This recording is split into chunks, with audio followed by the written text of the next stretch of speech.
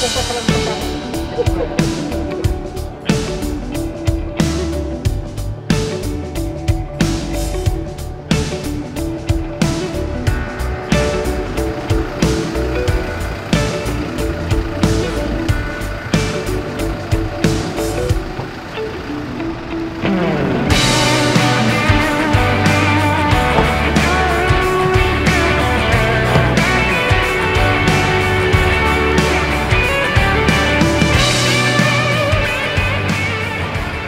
Dan wahyu, biran dan bau.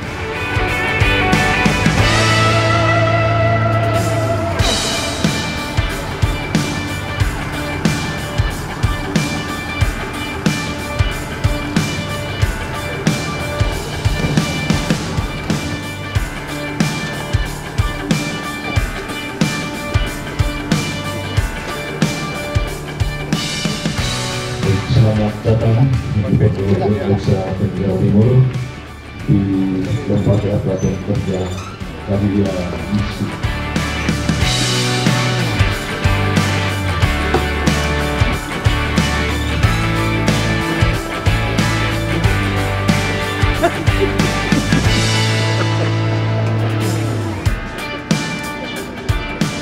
Langit Laut Biru, eh, Keuskupan Maumere. Untuk menyaksikan eh, produk-produk hasil karya tangan anak-anak yang juga Bapak, ini uh, apa? Mesin-mesin tempat guna yang kami produksi. Jadi ada mesin sorghum, data batang pisang, soto sorghum, rontok, kemudian sampai ke pengolahan. Jadi ini semua uh, hasil karya anak-anak di sini. Dan bahkan kemarin yang mesin soto sorghum ini juara. Supaya kita tidak hanya bergantung dari Jawa, tetapi kita produksi dari sini. Betul, saya menjadi. Uh, banyak sekali apa peralatan uh, kayu yang juga kita supply ke kampus seperti di MIPA dan lain-lain sudah kita produksi ini. Uh, Pak Bu- Bupati juga ingin supaya kita pakai produk lokal. Bela beli sika itu. Ya. Ya, itu yang saya di setiap produk yang kita keluar ini karya misi dan bela beli sika itu. Ya. Bela beli sika. Bedanya kami. Terus kemudian ada furniture. Ya, saya mesin aja, saya mesin aja. Oh. Furniture. Furniture ini apa supaya kita juga tidak ada kegelutan di Jawa. Misalnya produk Tiktos untuk kursi kuliah ada di sana. Kita Ini produksi. mesinnya apa ini mesin?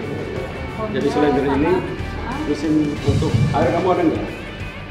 Air. Air air. Untuk air. belum belum pernah bikin tetapi kalau misalnya kami dipercaya untuk bikin ya saya berusaha dengan teman-teman di sini kan sudah solar cell. Sama mesin untuk bubuk kelor gitu bisa tuh. oh bisa bisa. nah, nanti bapak bisa rasakan produk-produknya kami Kalau- muter nanti Kelor Terus mesin pengering. Pengering sudah diminta oleh bapak Robi nanti kami tinggal realisasi. Terus pemecah kemiri sama pemecah mente Mente, sudah lagi itu sudah dalam desain. Tinggal nanti kami eh, dibantu oleh Pemkap juga untuk didukung. Itu saja. Jadi berdasarkan lokal lokal wisdomnya di sini. Nah. ini kursi kuliah. Memang sih tidak bisa dilipat-lipat gitu cuma karena keterbatasan jadi intinya kita tidak beli dari Jawa lagi tapi kita bisa produksi dengan pemberdayaan anak-anak muda di sini ada produk pangan juga.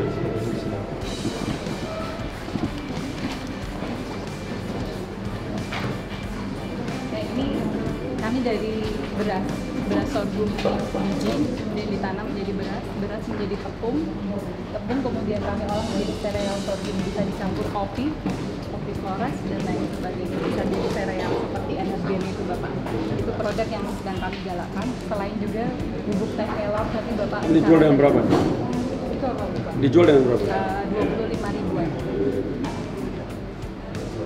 Beras 12.000 ribu. Karena kita juga nggak mau menekan harga dengan petani supaya petani juga sama-sama win-win lah Petani banyak dari mana? nih?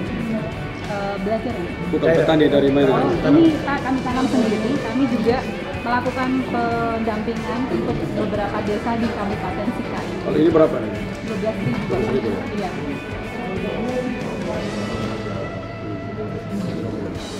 Nah, kita langsung ke ini Mesin air kamu kalau basis energinya pakai tenaga listrik matahari atau angin bisa nggak dibuat? Kami coba ya Bapak ya. Gini, jadi masalah kita ini kan air kita kan terlalu dalam-dalam dan jauh. Ya, ya. Kalau kita bisa punya mesin untuk dengan energi matahari atau angin, kita bisa angkat, itu you already have you have to solve problem. Oke, ya. So we will try. NTT punya problem, the big problem itu nomor satu kan number one management water management termasuk irigasi dan lain-lain. di Polres Manajemen ya.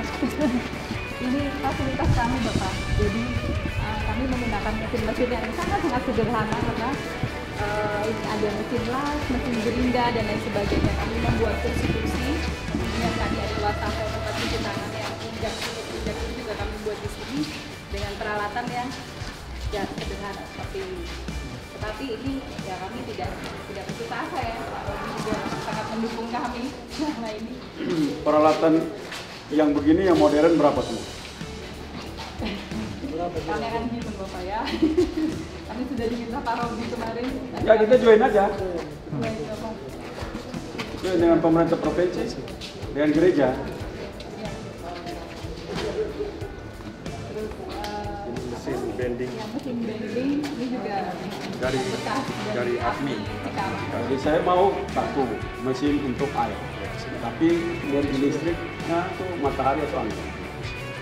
Kalau bikin, kita coba, anda bisa. air yang air yang itu pak Iya, jadi air air di mana pak? Entah di kali, di sungai, kalau kita tahan, kita bisa iri ke mana-mana karena kita punya mesin dari tenaga angin dengan tenaga matahari. Sehingga mesinnya jalan tanpa kita harus perlu energi listrik solar, energi listrik dari apa namanya bahan minyak. Itu akan banyak menolong kalau itu bisa keluar kita. Kalau mataharinya, kalau mesinnya bisa mataharinya kan kita bisa ngomong cungkol. Dan banyak teman-teman dari dari China yang besar yang bisa saya bicara.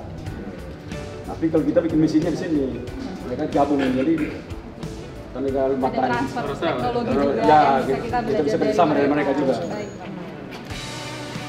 Tinggal. Ya nanti coba bikin mesin itu, coba mesin kita bisa bikin yang itu, mesin sedot air, mesin bikin mesin bubuk kelor, mesin apa nama pengeringan kelor, mesin yang lain itu buat di sini berapa kalau dibuat dengan baik, harganya kita bisa jual murah di sini, masyarakat bisa beli, terus investasi pemerintah berapa? yang apa kelor sudah di sampai di saset sudah kita buat juga. Sudah ya? Cuma manual. Ya, Makanya. bisa. Ya, belum. Berapa itu kalau manual itu berapa? maksudnya manual ya Manual cuman masukin saja sudah begitu, Bapak. sendiri. Oh, belum belum dia keluar lagi. Otomatisasi itu sekitar 30-an kalau tidak salah. Kalau yang Ya, kalau bisa otomatis. otomatis itu 30 juta. Juta. bikin dong kita bikin jadi kita bisa taruh di desa-desa yang kelor Ya. Kita bisa langsung untuk itu Kita ke sebentar dulu ya. balik-balik sebentar Untuk mesin-mesin yang di depan tadi itu kami eh, pakai peralatan yang sederhana ini. Mungkin ini juga bekas yang kami dapatkan dari Solo ya? Iya. ya dia tahu sorry Iya. Solo dan Salatiga dekat ya. Ya. nggak apa-apa mereka latih dari sini dulu supaya menuju ke sana kan dia punya modal juga terlalu jauh kan waktu dia menuju ke mesin-mesin yang eh, high tech. high tech Ya, kan ya. kita dia dia udah mengerti dasarnya tinggal Nah ini ya mungkin juga perlu revitalisasi sedikit Pak Robi pastinya. Balik lagi Pak Robi. Oke, Pak Bupati urus begini yang ini. Saya nanti kita bicara mereka sudah baik digitalisasinya tuh kita bicara. Ada Bapak Uskup pemimpin. Ya, nggak apa-apa. Gereja, gereja dengan uh, pemerintah nyatu. Yang kita mau kan produk ini keluar, kita tidak tidak tidak mahal. Kita kreasi kreasi sendiri sehingga dapat kita hitung cost ini mesin sekilas mesin kemudian itu bengkel kayu Bapak. Ini Bengkel kayu ini sudah ada sejak zaman dahulu kala. Kami tinggal meneruskan Saya saja. kalau tanya saya punya namanya rumput laut sampai di gimana? Ada mesin Dulu kan saya ketemu, ya, nah maksud saya presisinya berapa, itu yang perlu kita hitung tepat dan segala macam. Kalau itu bisa, Kami that's a big thing. Background kami di CNC milling bapak jadi Oh. untuk masalah apa namanya Terus, apa presisi dan lain sebagainya bisa Nggak, kita punya masalah di situ kan. Kalau Ah. bisa hitung, maksud saya gini, kalau itu bisa kita bisa beli mesin-mesin yang lain. Kita Baik. tinggal karena itu tinggal mesin satu kita di sini kita bongkar kita contoh saja. Terus di sana lihat saja ya Bapak ya, itu eh, hortikultura mungkin ya kami Ah, mengadakan pelatihan juga untuk Ya, tanaman kalau begitu nanti ya, yuk di situ aja perkuat situ aja. Jangan terlalu kerja banyak nanti salah. Ah, Pak. Mesin, begini, kalau anda begitu mengurus mesin secara sungguh-sungguh, Iya. maka Spesialis. itu masalah NTT itu kita mampu terselesaikan luar biasa banyak. Kita punya problem luar biasa pada mesin. Problem sangat luar biasa. Kita punya mesin paling problem luar biasa. Kita mesin apa aja kita nggak punya. Jadi kalau saya pikir sebaiknya kita fokus mungkin ada juga yang kayak tapi fokus kepada mesin. Mesin Teknologi itu guna. ah teknologi tepat guna. Jadi kita masuk di situ kita investasi berapa? Bisa dicoba Bapak ini minumannya juga.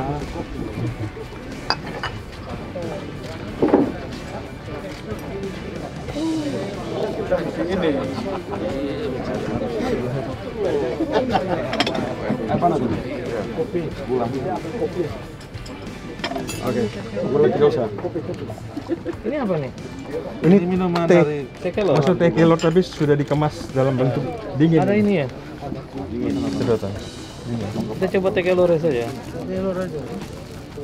Sehat, sehat, sehat Pak.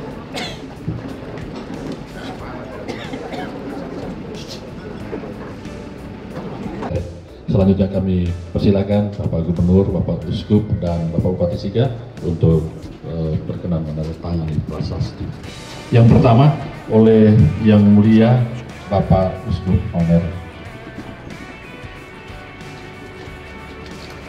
Oleh Bapak Bupati Siga.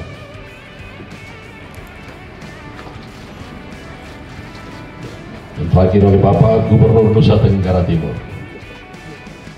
Mari kita berikan tepuk tangan yang meriah untuk acara pengadaan prestasi ini.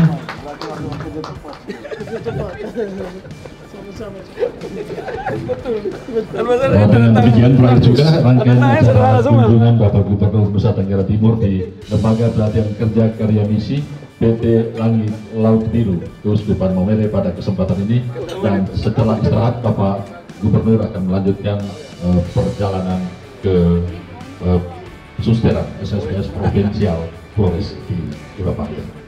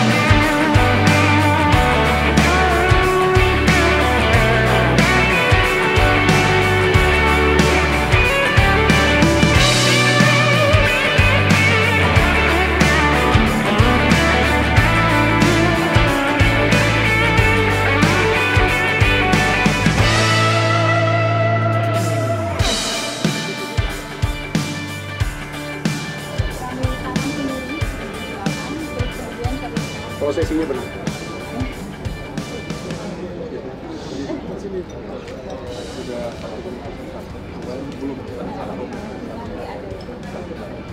Kita punya market tapi belum bisa isi. Satu minggu Jepang minta itu 4, 4 ton. Bukan, order kel. Empat ton.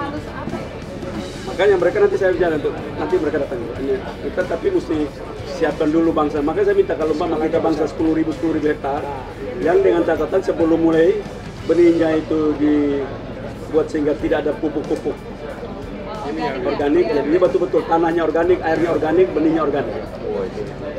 Jadi nanti disertifikasi pemerintah daerah bisa sertifikasi itu. Harga sertifikasi itu tuh sekitar 200 jutaan lah. 250 juta untuk dapat sertifikat. 250 juta. Jadi tanah, lahannya segala macam disertifikatkan. Lalu dasar situ benih itu begitu mereka datang lihat dalam lihat dasar semua, mereka ambil dari situ. Nah, mereka dikasih berapa besar sebuk koder yang mereka inginkan, berapa itunya, mikro yang mereka buat, ya sehalus apa. Nah itu kita bisa. kalau halusnya bisa kita penuhi, tapi untuk sampai ke situ kan rata-rata kita dulu kan tanam tidak pernah periksa tanam-tanam. Sekarang kita rubah, mau tanam kalau ada 500 hektar, verifikasi dulu sehingga dia organik. Ya tanahnya organik, airnya organik, benihnya organik. Itu 250 juta lah tuh keluar. Kita ada buat juga di TTS, TTU, nanti juga eh, di Bisipai, keluar juga ya. Karena ini kan dunia barat ini termasuk makanan makanan kesukaan dunia hari ini, moringa. Iya. Tetapi mereka kan masih menanyakan takutnya ada air yang tidak bersih dari ada apa virus eh, bakteri bakteri itu bakteri apa pestisidanya bakteri E. coli bakteri ya E. coli itu. Tapi yang Bapak konsumsi ini sudah pasti organik. Nah kalau saya perut saya ini penuh dengan segala macam racun. Ya. kalau kita orang dari Eropa dan Amerika kan, kalau kita ini kan tiap hari makan segala segala macam racun sudah masuk.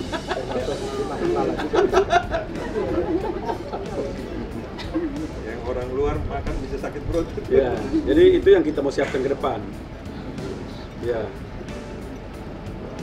Jadi kalau kita punya mesin pengering sudah ada, dan mesin untuk ya, bubuknya dengan permintaan mereka sudah siap, itu akan sangat menolong sekali. Karena kita masalah serius itu mesin pengering kita.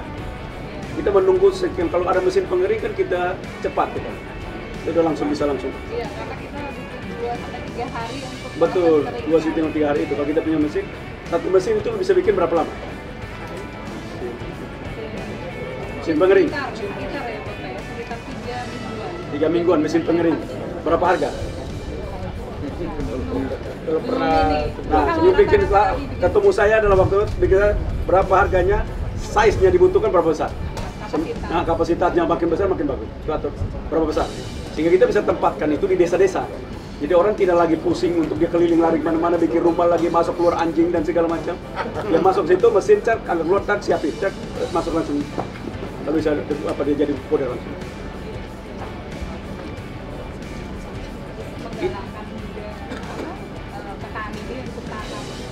Ya, udah lu bikin mesin aja. Nanti urusan Oh, iya. urusan saya di depan. Kalau urusan depan. Udah. Ini ini kan nggak ada pilihan begitu mesin udah jadi nggak mau ya te- tempat lain lebih maju. Nggak ada pilihan, no other choice. Itu tuh mesin begitu ada udah terbang dengan sendiri. Itu mau masalah bos tetap mesin. Masalah kita tetap di mesin. Bapak kami juga punya mesin tapioka tuh. Jadi rumput laut belum jalan. Rumput laut. Boleh. Kita boleh duduk untuk kita di rumput laut. Kita coba dulu lihat dia punya hasil segala macam. Kita lihat. Tidak karagenan apa-apa, kita kargenan dulu. Kamu pakai di mana? Kalau tidak pakai di sini, pakai di Kupang. Saya punya rumput laut banyak di Kupang yang kirim saya itu. Kirim bahan, bahan, bahan baku aja ke apa ke mana itu? Makassar. Makassar ekspornya itu barang ekspor satu kali barang sudah mati. Mesin di sana banyak. Mesinnya sederhana sebenarnya ini. Ya mesin-mesin ya betul. Nanti saya kasih, ketemu dengan orang yang punya rumput laut. Karena kita perlu itu juga banyak.